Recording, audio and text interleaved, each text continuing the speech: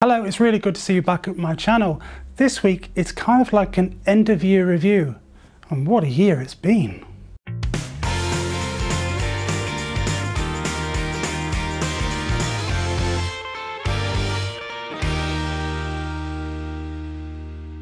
So yes, hello, welcome back. Um, as I say, end of year review is kind of this week. I'm not going out anywhere. It's now Christmas. It's, this is the weekend before Christmas, so there's too much other stuff to do. Work's too busy. Even though it's nice and sunny today, I've just got too much other stuff to do. So I thought I would just do an end of year review, um, just discussing the highs and obviously there's a lot of lows.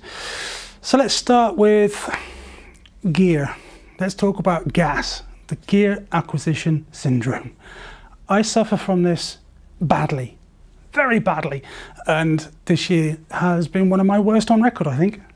Um, so I'll start with, um, I used to have an RB67. You can see here I took it out into the Peak District once, twice in fact I've taken it out. Um, I liked it, but I was struggling with it, um, and someone wanted a swap or move from a Pentax to the RB, so I basically just did a swap. So I now have my Pentax 6x7 and I love it. Yes, it's a, it's a tank. It's an, it weighs more than a small country, um, but I really, really love this camera. Um, so as my first biggest jump into uh, gear acquisition, I started with a big one, put that there. Uh, and then I got the Mamiya 645s, this one and the J, which I talk about in a video up here. I think, can I list more than one card? If I can't, it'll be down there. Um, the, this is growing on me, this. I wasn't, I wasn't that bothered when I got them. I liked the idea. I wanted to try 645, and I, I was initially like, mm, I'm not sure if I like the smaller negs, but 15 shots. I like that part. So, um, so yes, it's grown on me. Definitely grown on me, that one. So they're quite good. I've also had the Canon 300V. Um, that one I've really enjoyed using as 35mm cameras go. What else have I had? So I've had a light, I've got a light meter, I've got a few bits and pieces. Yeah, I've, too much, way too much. Um, and if you can see, this here, that's a future thing. That's my Christmas present the best way of getting around having gas is just to make it a present. Um, that's to be announced. I don't actually have that yet, even though it's right there. I don't actually have it. It's to be gifted to me on Christmas Day. Um, so I can't really talk about it, but you can work it out. Uh, anything else? Gas, I bought a new bag, I got a new drone. Um, yeah, a bit too much. And especially considering the other part of this year, we haven't been able to get out, um, which has been, I think, the biggest challenge for all of us, absolutely all of us. So when this lockdown started, um, I was already in isolation at that point. I'm sort of higher risk in the in the whole scheme of things. So for three months, I never left the house. Um, I went as far as my garden, and that was it. And um, yeah, that takes a dent on your mental health a bit. Um, and I didn't leave the house at all. Um, I just got into a panicky state. So in terms of how 2020 has affected me, it, it hit hard, really hard.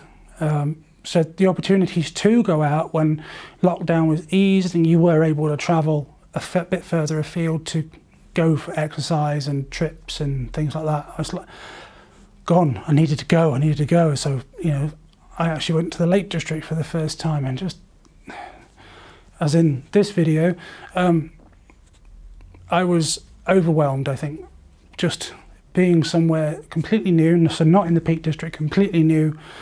Um, yeah, kind of made me realise how much I've missed the outdoors and, and the world and life, you know. Um, and photography wise, not being able to do anything meant that this channel took a bit of a dip. I wasn't able to produce as much. How some of these YouTubers managed to keep producing content, I don't know, because I just went, I got nothing. if I don't go out, I haven't got much. So I did a couple of quirky little things. I did the one with my daughter, doing the camera obscura in her bedroom. uh, the bubble photography, which I actually really enjoyed that. I did, did a lot more of that than what I showed you in the videos. I was constantly doing that one. I really, really enjoyed doing that. What else did I do? Not a lot else. Not a lot else. So film photography in that time grew. Uh, I got a dark room. Well, my garage is converted into a part dark room. So I started teaching myself doing prints, uh, understanding film photography a bit more. I'm still learning that one. I am nowhere near mastering that one. As you'll see in my last video, uh, I made a few mistakes. So I'm still on my learning curve with that one. So it's steep, this learning curve, but it's it'll curve eventually. Um, but photos, I think this year I've had some of my favorites. So the drone stuff um, in autumn this year has, I thoroughly love those photos of the, the, the golden trees. Uh, someone called it on my Instagram the um, curried broccoli, which is what it looked like. And yeah, it was like so wonderful. Um, and the, the inversion I was greeted with one morning, and yeah, everything everything's been really good towards the end of the year and it's kind of reassured me that things will get better. Um, I do need to get back into digital photography a bit more. I've not really touched the digital camera for a while, so I will have to pick that one up in the new year and get back onto that one. Uh, so going ahead, uh, as of today, as of right now, which it is the 19th of December and it is at 25 past 2 in the afternoon, I am at 999 subscribers on this channel. I wonder who will be the thousandth. But from my heart, thank you, all of you, all of you, for coming along on this journey with me. Um, I just felt I needed the creative outlet, so YouTube was my victim. And uh, for all of you that have come along, thank you so much. It really means the world to me. I, I, I so, so appreciate it. Um, it's, it's wonderful. So as I said in a couple of videos, uh, when I get to a thousand, I'm going to give away a camera. And at this point, it's this. It's not much, but it's a start. This is a film camera. It is the um, Harman, which is Ilford, uh, black and white disposable camera. So you've got, um, how many shots? 27. How random. 27 exposures, ISO 400 film. Um, it's got a few instructions on the back, but this could be yours. Now I might do another one. I might have like a first, second, and third. I'm going to dig through my collection and, and find a couple of my older cameras and give them away too. So to win this one, you have to be subscribed here. You have to go over to Instagram on this. You have to follow me on there and I will make a post about this one. And if you could just make a comment tell me where you're from, say hello, anything. Just make a nice comment, nothing rude, um, so that I can check you're all linked up and things like that. Um, and I will draw somebody out of a hat, and you can have this camera and maybe another camera some, for someone else. And you know, I'm to aim for three cameras, I think, if I can.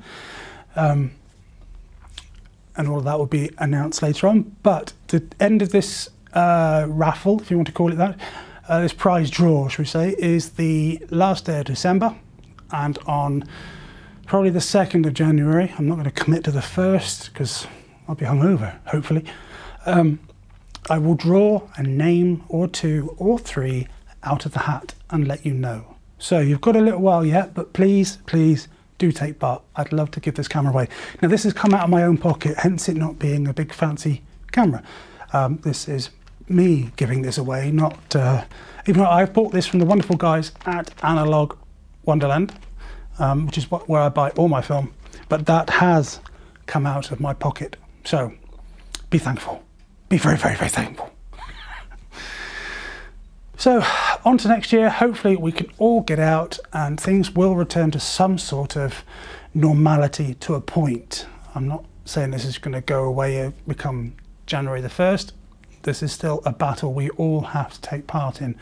And we all do our bit, the sooner we can all get out there and get back to normal. So, on that note, I'm going to wish you all a very Merry Christmas, an awesome New Year, and I will see you next year. But for now, do take care.